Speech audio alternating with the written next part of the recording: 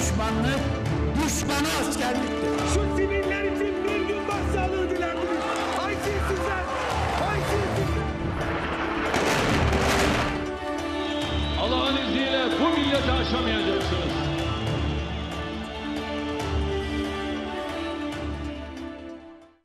İyi akşamlar değerli izleyenler. Saatlerimiz 19'u gösteriyor. Ana haber bülteninde gelişmelerle karşınızdayız. Hoş geldiniz.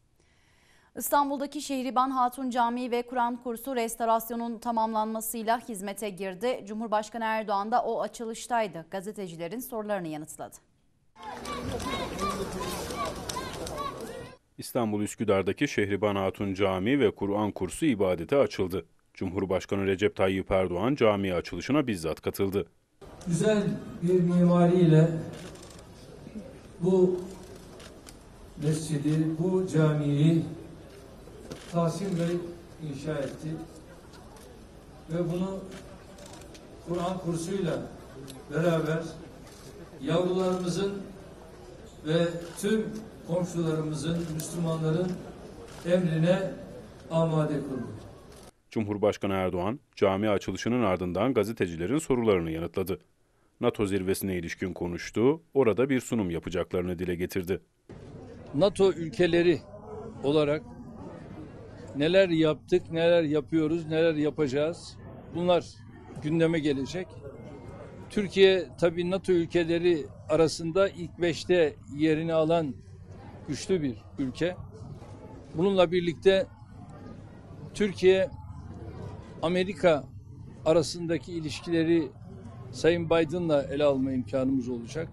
Tabii bir de NATO üyeleri olarak oradaki sunumlarımız olacak.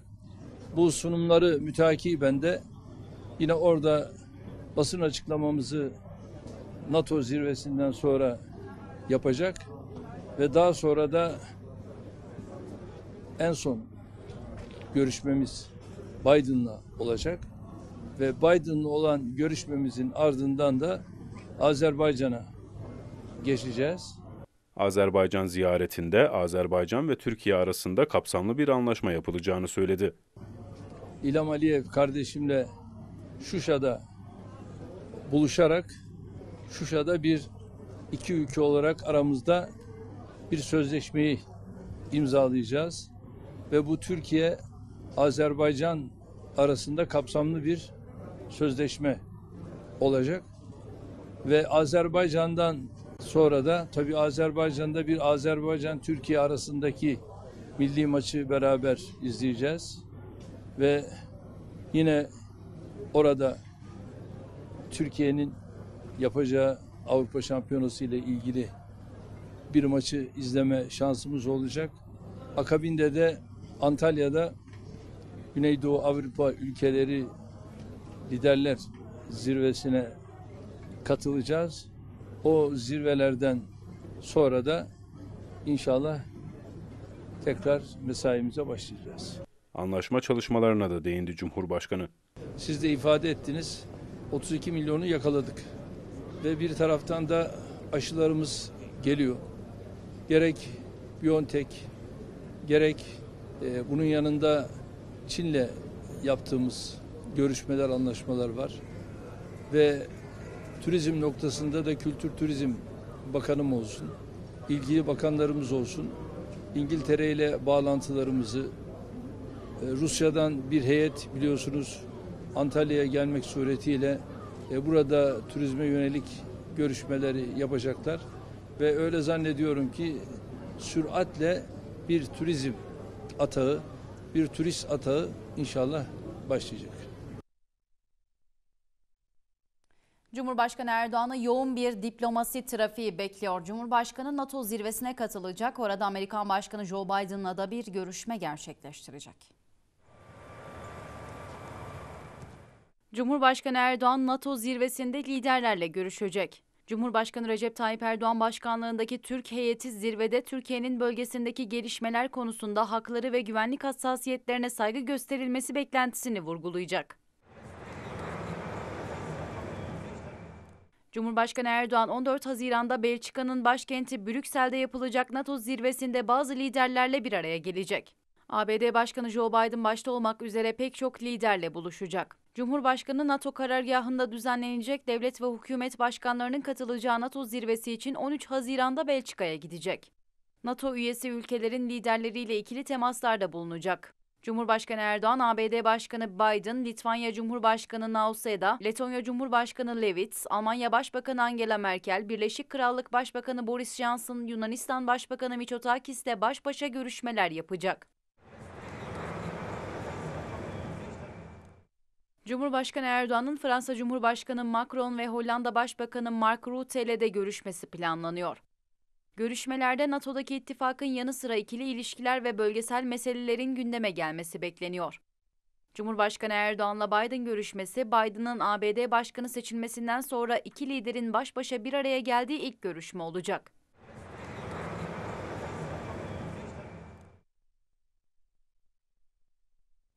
Yukarı Afrin Barajı Suriye'den Türkiye'ye gelen sığınmacıların da etkisiyle içme suyu sıkıntısı yaşanan kiliste inşa ediliyordu. Tüm hazırlıklar tamamlandı. Barajın açılışı Cumhurbaşkanı Erdoğan'ın canlı bağlantısıyla yapıldı. Kiliste içme suyu sıkıntısının ortadan kaldırılması için yapılan Yukarı Afrin Barajı açıldı. Kiliste Suriye'den Türkiye'ye gelen sığınmacıların da etkisiyle içme suyunda sıkıntı yaşanıyordu. Bu ihtiyacı karşılamak için 2015'te inşasına başlanan Yukarı Afrin Barajı tamamlandı. Hem barajın hem de baraj suyunu kilise taşıyacak isale hattının açılışı Cumhurbaşkanı Erdoğan'ın katılımıyla yapıldı. Bu muhteşem yatırım sebebiyle ömrünüz su gibi aziz olsun diyor ve butonlara basıyoruz. Ya Allah. Bismillah. Ya Allah. Bismillah.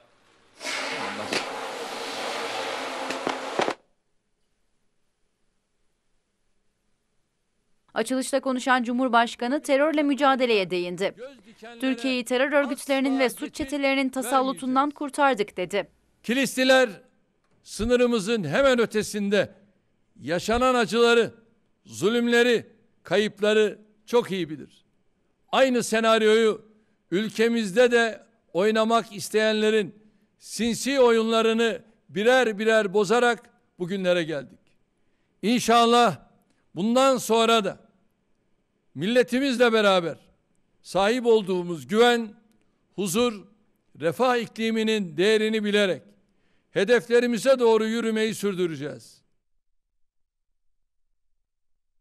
Denizlerdeki müsilaj sorununun çözümü için bir araya gelen akademisyenler Cumhurbaşkanı Erdoğan başkanlığında toplandı. Çözüm önerileri tek tek görüşüldü ve acil durum önerileri belirlendi.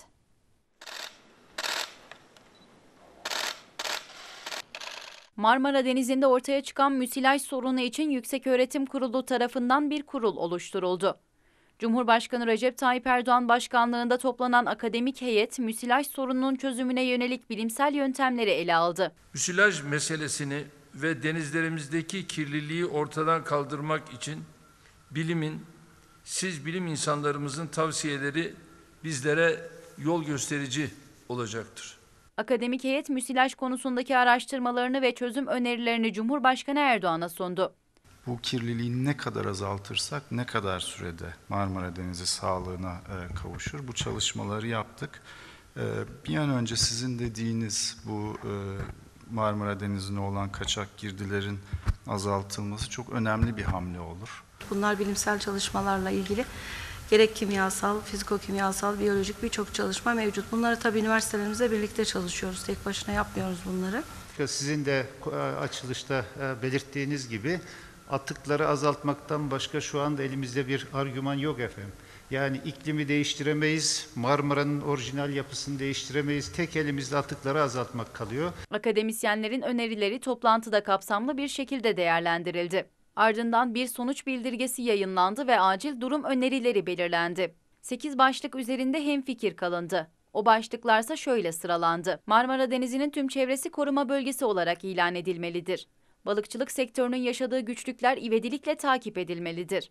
Boğaz'da meydana gelebilecek kazalara karşı eylem planları oluşturulmalıdır.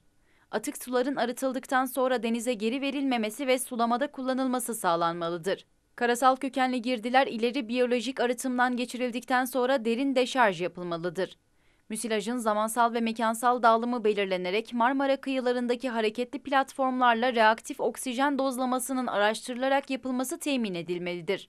Mevcut arıtma tesislerinin ileri arıtım teknolojileriyle entegrasyonu sağlanmalıdır. Konuyla ilgili bir izleme komitesi kurulmalıdır. Yani iklimi değiştiremeyiz. Marmara'nın orijinal yapısını Memleket Partisi Genel Başkanı Muharrem İnce eski partisi CHP'yi topa tuttu. CHP'ye yakınlığıyla bilinen bazı medya organlarının kendi haberlerine yer vermediğini söyledi. Siz iktidar olsanız bu milleti perişan edersiniz diye konuştu. Siz iktidar olsanız bu milleti perişan edersiniz. Anasını ağlatırsınız. Memleket Partisi Genel Başkanı Muharrem İnce olaylı bir şekilde istifa ettiği CHP'yi bu sözlerle topa tuttu. CHP'ye yakınlığıyla bilinen televizyon kanalları İnce'nin hedefindeydi. Kendi haberlerine yer vermedikleri için ateş püskürdü. CHP'den CHP'den istifa edip parti kurarsan Halk TV'de, KRT'de, Tele1'de haber olamazsın. Bunların derdi gazetecilik falan değil. Bunlar tüccar olmuşlar. Bunlar halkla ilişkiler uzmanı olmuş artık. Bir parti kurmuşuz. Bir dakika beni veriyorsun. Aynı akşam 3 saat Davutoğlu'nu gösteriyorsun. Halk TV. Sen mi demokratsın yani?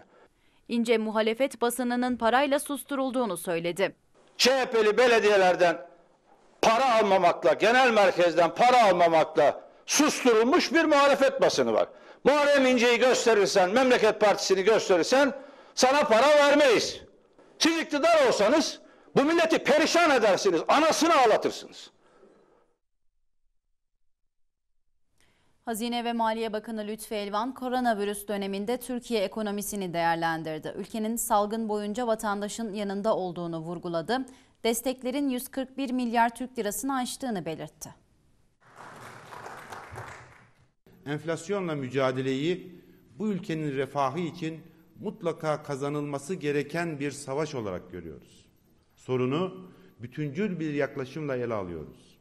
Hazine ve Maliye Bakanı Lütfi Elvan online olarak gerçekleştirilen Ankara Sanayi Odası Meslek Komiteleri ortak toplantısında konuştu. Bir taraftan pandemiyle mücadele ederken diğer taraftan da ülkemizin ekonomi politikalarının temel rotasını belirledik. Siz kıymetli sanayicilerimiz başta olmak üzere ekonomideki tüm aktörler için öngörülebilirliği ve güveni daha da artıracak adımları ortak akılla belirledik. Bu adımların hayata geçmesi içinse kamudaki tüm paydaşlarımızla yoğun bir mesai yürütüyoruz. Türkiye pandemi sürecini başarıyla yürütüyor. Salgın sürecinde yapılan yardımlara ilişkin değerlendirmelerde bulundu. Bütçeden ve çeşitli fonlardan sunduğumuz desteklerin tutarı 141 milyar lirayı aşmış durumda. Yıl sonuna kadar bu tutarın 191 milyar liraya yani milli gelirin yüzde üç onda dörde ulaşmasını bekliyoruz. Kullandırılan ve ertelenen krediler yoluyla ise 524 milyar liralık yani milli gelirin yüzde dokuz onda üçü kadar bir kaynak harekete geçti. Bakan Lütfi Elvan desteklerin 9,5 milyon vatandaşa ulaştığını belirtti.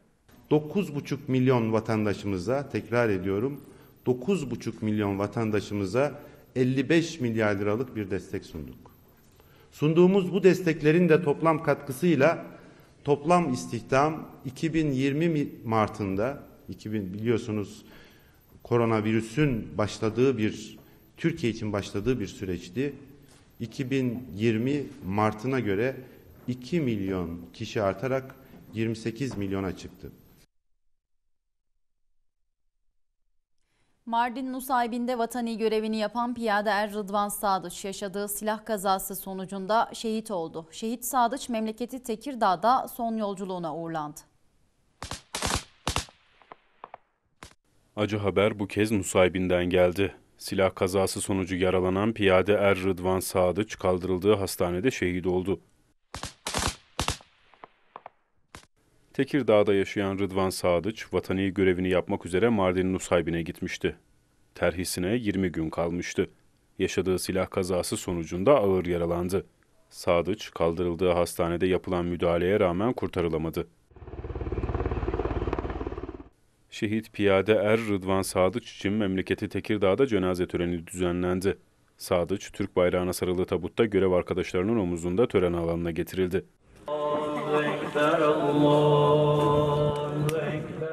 Şehidin ailesi törende güçlükle ayakta durdu. Evlatlarının tabuduna sarılan anne ve babanın gözyaşları herkesin yüreğini dağladı.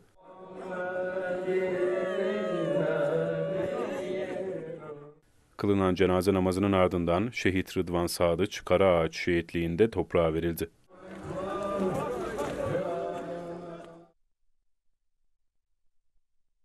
Devlet içinde devlet kurma planları yok edilen FETÖ'cüler vazgeçmiyor. Yeni yapılanma peşindeler. Yine öyle bir hazırlık içerisinde olan şüphelilere operasyon yapıldı. Şüphelilerin firari FETÖ'cülere fon sağladığı tespit edildi.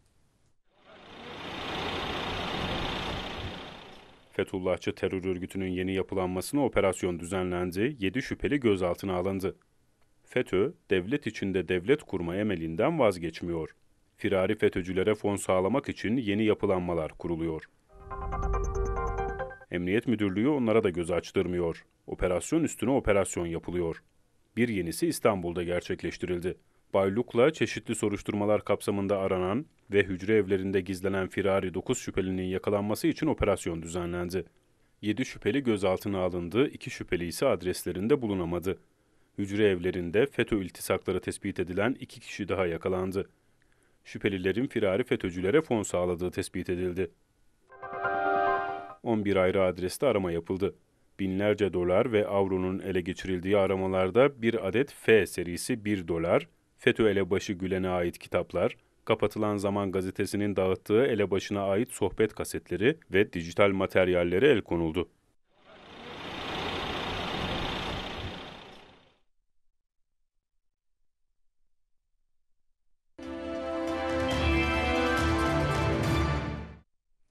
...2018 yılında Erzurum'da Süte Değer projesinin birinci etabı başlatılmıştı. Projeyle şimdiye kadar 30 ton süt toplandı ve hedef 50 ton süt toplamak. Erzurum, flora çeşitliliği ve mera zenginliğiyle ön plana çıkıyor. Bu kapsamda devlet ve özel sektörle besiciler ortak bir proje yürütüyor. Proje ile elde edilen süt hem üretime hem istihdama katkı sağlayacak. Dadaşlar Diyarı Erzurum yeni bir projeye ev sahipliği yapıyor. Tarım ve hayvancılığın yaygın yapıldığı ve hayvan varlığıyla dikkati çeken kent, ülkede süt üretiminde ilk sıralarda yer alıyor. Projeye KUDAKA ve Valiliğin eş finansman desteğiyle Büyükşehir Belediyesi, Erzurum Ticaret Borsası ve Tarım ve Orman İl Müdürlüğü katkı sunuyor. Erzurum İl Süt Sektörü Soğuk Zincir Kurulumu projesiyle kentte zengin florada üretilen tonlarca süt pazar sorunu yaşanmadan tüketiciye ulaştırılıyor. Proje ile üretilen sütün para kazandırması hedefleniyor. Süte değer projesi ne demek onu söyleyeyim size. Önce bir, bugün Türkiye'nin en önemli hayvancılık kenti olan Erzurum'da e, hayvancılıkla uğraşan çiftçilerimizin üretmiş oldukları sütün e, para etmesi demek. Kısacası bu. Eskiden çok daha e, az para ederken bugün hem sütümüzün değeri arttı, para ediyor tırnak içerisinde. İki, sütümüzün kalitesi arttı. Üç, süt ürünlerinin de kalitesi arttı. Proje kapsamında şu ana kadar 30 ton süt toplandı. Şu ana kadar 30 ton süt toplanıyor. İnşallah hedef 50 tona bunu ulaştırmak ve arkasında hedef devamlı büyüyerek devam edecek. Erzurum'umuzda soğuk zinciri, süt zinciri çok zayıftı. Bu projeyle e, hem hijyenik hem daha değerli bir süt toplanımı gerçekleştiriliyor. Proje sektöre önemli katkılar sunuyor. hem e, Erzurum'daki sütün değerlenmesi adına hem de kırsalda yaşayan çiftçilerimizin e, gelir ve refah seviyelerinin yükselmesi adına aynı zamanda hayvan ıslahı adına ve kaba yem üretimi daha kaliteli kaba yem üretimimizin artırılması adına çok önemli bir katkı, önemli katkıları oldu. Projenin birinci etabı 2018 yılında hayata geçirilmişti. 2018 yılında birinci etap diye adlandırdığımız soğuk zincir süt projesinin artık ikinci etabına gelmiş bulunuyoruz. İkinci etapta da proje e, 2019'da onaylanan projemizde 465 tank ve gördüğünüz 3 tane 4 3 tane küçük bir tane büyük araçla 50 tonu hedefliyoruz. İnşallah e, bütün Erzurum'a, bölgeye, ülkemize hayırlı uğurlu olsun. Güneş sıcak. Hava kapanıyor. Erzurum Milletvekili İbrahim Aydemir mecliste söz aldı. Muhalefete tepki gösterdi. AK Parti'nin başarısının sırrının samimiyette olduğunu söyledi. Şunu özellikle not düşmek istiyorum. AK Parti Erzurum Milletvekili İbrahim Aydemir Meclis Genel Kurulu'nda muhalefetin gerçekleri ters yüz eden tarzına tepki gösterdi. AK Parti'nin başarısının samimiyetten kaynaklandığını vurguladı. Meclis Genel Kurulu'nda söz alan Aydemir'in hedefinde muhalefet partileri vardı. Türkiye'nin ekonomi alanında gösterdiği başarıya dikkat çekti. Kalbi olursanız ilahi korunma şemsiyenizle kuşanırsınız. Açıklanan iktisadi veriler buna örnektir dedi. Takdir hissinin nitelik ifadesi olduğunu belirtti. Nitelik sahibi olanların düştüğü bir notu hatırlattı. Diyorlar ki başkalarının kusurunu bulmaktan nefret et. Bir şey beğendin mi takdirini söylemekten zevk al. Bizim siyasi tarzımız her daim bu uyarı üzerine oldu ifadelerini kullandı. AK Parti'nin doğru yaklaşımına vurgu yapan Aydemir, muhalif olanların doğrudan uzak olduğunu söyledi. Gerçekleri ters yüz ettiler ve yine küresel yönelmelere aleni destek verdiler. Ülkemizi diz çökertme girişimlerine payanda oldular fakat başaramadılar. Başaramazlar. Zira işin sırrı samimiyette diye konuştu. Dolayısıyla haddinizi bilin. Hep Erzurum merkezli 7 ilde DAEŞ terör örgütüne yönelik operasyon düzenlendi. Operasyonda 14 kişi gözaltına alındı.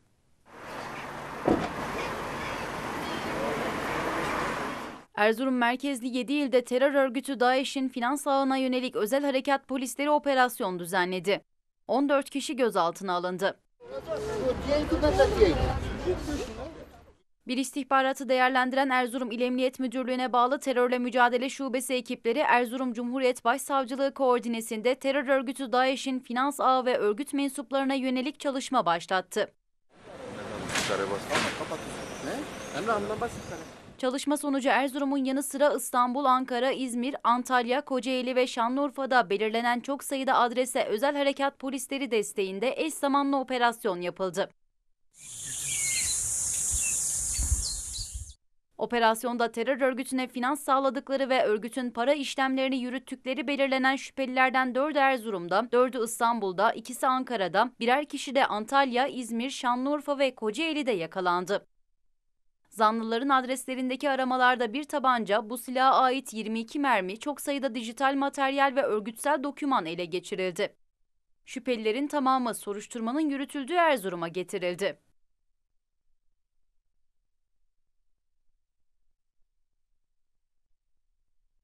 Erzurum Atatürk Üniversitesi Su Ürünleri Fakültesine bağlı olan alabalık üretim tesisi yılın her döneminde balık üretimini sürdürüyor. Üretilen alabalıklar Türkiye'nin dört bir yanında satışa sunuluyor.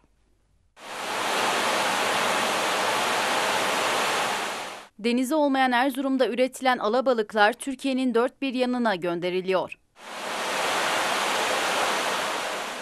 İklim şartlarının avantajı sayesinde Erzurum Atatürk Üniversitesi Su Ürünleri Fakültesine bağlı olan tesiste yılın tamamında üretim yapılabiliyor. Bu durumda su ürünleri üretimini olumlu yönde etkiliyor. Tabii ki burada üretilen balın çok ayrı bir değeri var. Biraz önce ifade ettiğim gibi 2000 rakımda üretiliyoruz ve bizim özellikle yazın su sıcaklığı artı 18 dereceye geçmediği için yaz boyunca da üretimimiz devam ediyor. Birçok ilde bölge dışındaki birçok ilde yazın balık üretimi duruyor. Ayrıca burada üretilen balıklar kent ekonomisine katkı sağlıyor. Üretilen alabalıklar hem vatandaşların sofrasını süslüyor hem de balık üreticilerine yumurta desteği sağlıyor. Yemeklik boydaki balıklarımızı halkımızın satışına sunmak için havuzumuzdan boylayarak çıkarmaktayız. Tabi burada e, yapmış olduğumuz hizmet sadece halkımıza balık satışı değil, bunun yanında yetiştiricilerimize de yumurta ve yavru desteği sunmaktayız. Binbir emekle üretilen alabalıkların canlı kilogramı 35 Türk Lirası, fileto olarak hazırlanan balıkların ise kilosu 70 Türk Lirasından satışa sunuluyor.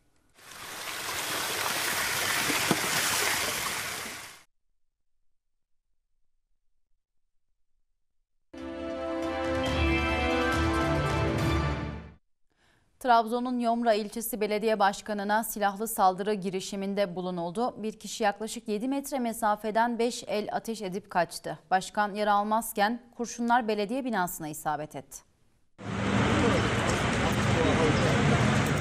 Trabzon'un Yomra ilçesi belediye başkanı İyi Partili Mustafa Bıyık makam aracından indiği sırada silahlı saldırıya uğradı. Başkan Bıyık saldırıdan yara almadan kurtuldu. Yomra Belediye Başkanı Mustafa Bıyık sabah saatlerinde makam aracıyla belediye binasına gitti. Başkan Bıyık araçtan indiği sırada yaklaşık 7 metre ötedeki bir kişi tabancayla 5 el ateş edip kaçtı. O anlar çevredeki güvenlik kameralarınca an be an kaydedildi.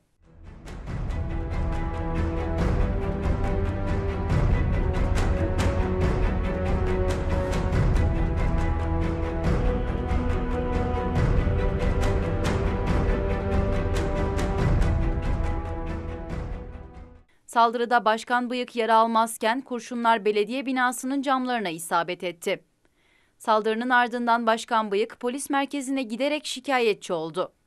Polis saldırganın yakalanması için çalışma başlattı. Trabzon valisi İsmail Ustaoğlu failin en kısa sürede yakalanacağını belirtti. İşte görgü tanıkları, olay yeri etrafındaki kamera kayıtları da incelendi. Tüm detaylarıyla arkadaşlarımız e, araştırmalarını yapıyor. İnşallah en kısa sürede faili bulacağız.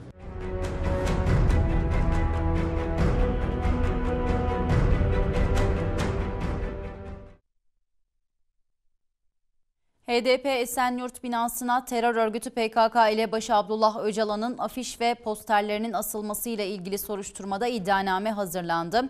Tutuklu bulunan ilçe başkanı Ercan Sağlam ve parti yöneticilerinden Dilan Kılıç hakkında 25 yıla kadar hapis isteniyor.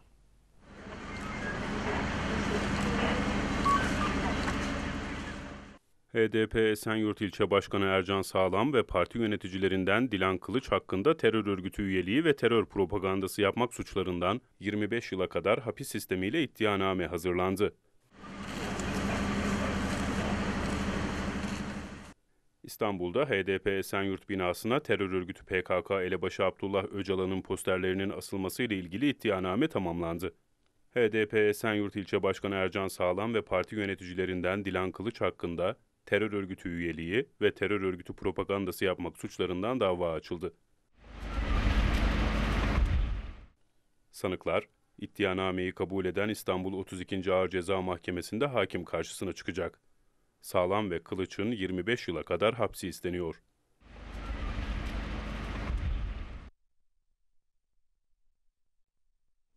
Milli İstihbarat Teşkilatı PKK'nın mahmur yapılanmasına bir darbe daha vurdu. Kırmızı bültenle aranan sözde mahmur sorumlusu Hasan Adır öldürüldü. Terör örgütü PKK'nın sözde mahmur sorumlusu Hasan Adır, MIT'in operasyonuyla etkisizleştirildi. Milli İstihbarat Teşkilatı Mahmur'a ikinci darbeyi vurdu. Mahmur kampında faaliyet gösteren Salih Cizre kod adlı Hasan Adır'ı hedef listesine aldı. Interpol tarafından kırmızı bültenle aranan Adır bir süre takip edildi. Düzenlenen nokta operasyonuyla da etkisizleştirildi.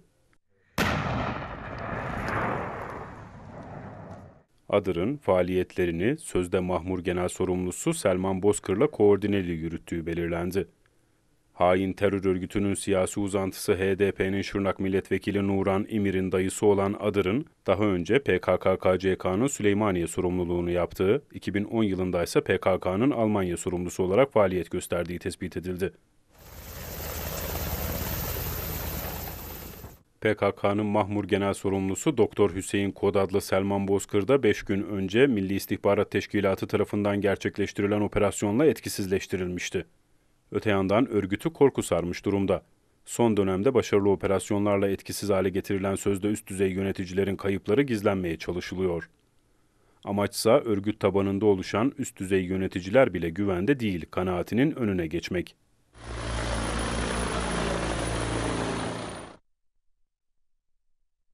Türkiye koronavirüs hasta tablosu açıklandı. Bugün itibariyle 224.128 kişiye COVID-19 testi yapıldı.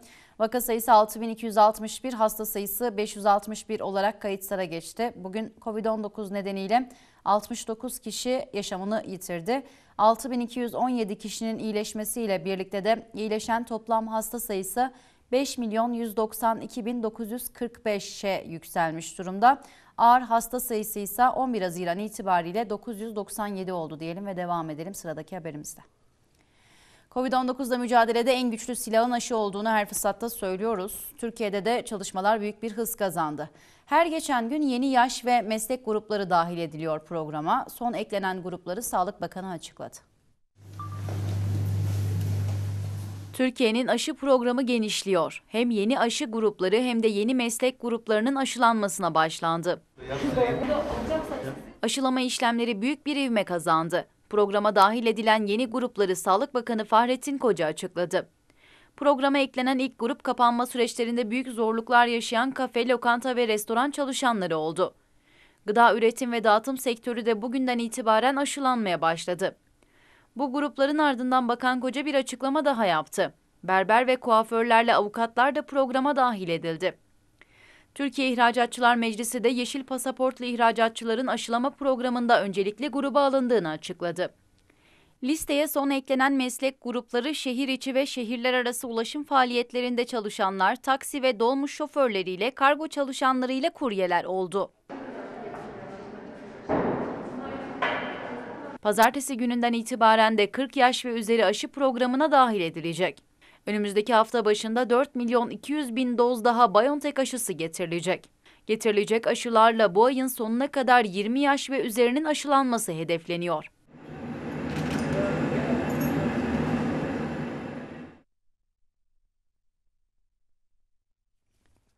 A milli futbol takımımızın Euro 2020 yolculuğu başlıyor. Ay Yıldızlılar turnuvanın açılış maçında bugün İtalya ile karşı karşıya gelecek.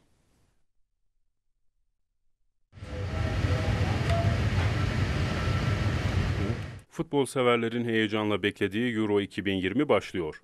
Şenol Güneş yönetimindeki A milli futbol takımımız dev turnuvanın açılış maçında Yıldızlar topluluğu İtalya ile kozlarını paylaşacak. Roma Olimpiyat Stadında oynanacak müsabaka bugün saat 22'de başlayacak. Zorlu mücadelede Hollandalı hakem Danny McKealley düdük çalacak. Ay Yıldızlılar güçlü rakibiyle daha önce oynadığı 10 maçtan da galibiyet çıkaramadı. Bu maçların 7'si Gök Mavilerin üstünlüğüyle sona ererken 3'ünde de eşitlik bozulmadı. Tarihinde ilk kez Avrupa Futbol Şampiyonası'nın açılış maçında boy gösterecek olan millilerde karşılaşma öncesinde sakat oyuncu bulunmuyor. Ev sahibi ekipte ise tedavisi süren orta sahanın önemli isimlerinden Marco Verratti'nin ilk 11'de yer alması beklenmiyor. Maç öncesi değerlendirmelerde bulunan teknik direktör Şenol Güneş, iyi oyunla iyi bir sonuç elde etmek istediklerini söyledi. Yarınki oynayacağımız güzel oyun ve bundan sonra gruptaki iyi oyunlarımız ve alacağımız özellikle sonuçlarla, sportif başarılarla ondan sonra bu işi yapmak için bu işe gönül verenlerin eee ne kadar karlı olacağını görecekler. Çünkü sadece sportif başarı almak kalmak değil, maddi manevi kazançlar içinde buna ihtiyacımız var. Bunu biliyoruz. Oyuncularımızın üstünde hem Türkiye'nin heyecanı, umutları var. Onları mutluluğa çevirmek anlayışı var bizim burada ama tekrar söylüyorum alacağımız oyun kadar oynayacağımız oyun yani alacağımız sonuçlar kadar oyunlar çok daha önemli. İyi oyunla, iyi sonuçla hiçbir şey söylemeye gerek yok. Kendiliğinden her şey yapılır. İtalyan çalıştırıcı Roberto Mancini ise Türkiye'ye büyük saygım var. Çünkü çok güçlü bir takım. Umarım finalde tekrar karşılaşırız ifadelerini kullandı.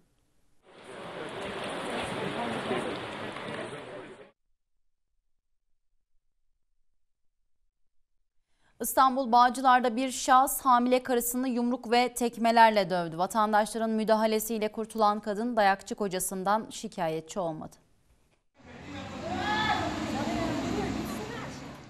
Hamile karısını sokak ortasında dövdü. Kadın dayakçı kocadan şikayetçi olmadı. Görüntülerin adresi İstanbul Bağcılar.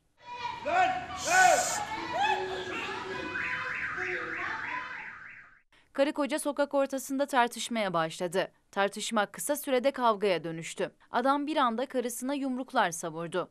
Kadın kendini korumaya çalıştıkça yumruk ve tekmelerin hedefi olmaktan kurtulamadı. Çevredekiler olaya duyarsız kalmadı. Bir yandan saldırganı sakinleştirmeye çalışırken diğer yandan kadını kurtarmak için çabaladılar. Kadını adamın elinden alan vatandaşlar adamı da başka bir noktaya götürdü.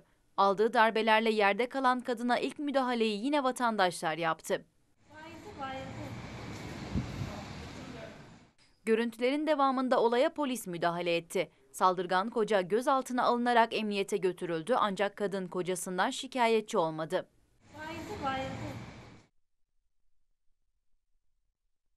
Bu haberle ana haber bülteni noktalıyoruz. Sizler de haber niteliği taşıdığını düşündüğünüz görüntüleri 0532 063 27 43 numaralı WhatsApp haber aparatımıza gönderebilirsiniz. Yarın yeniden görüşmek dileğiyle mutlu akşamlar.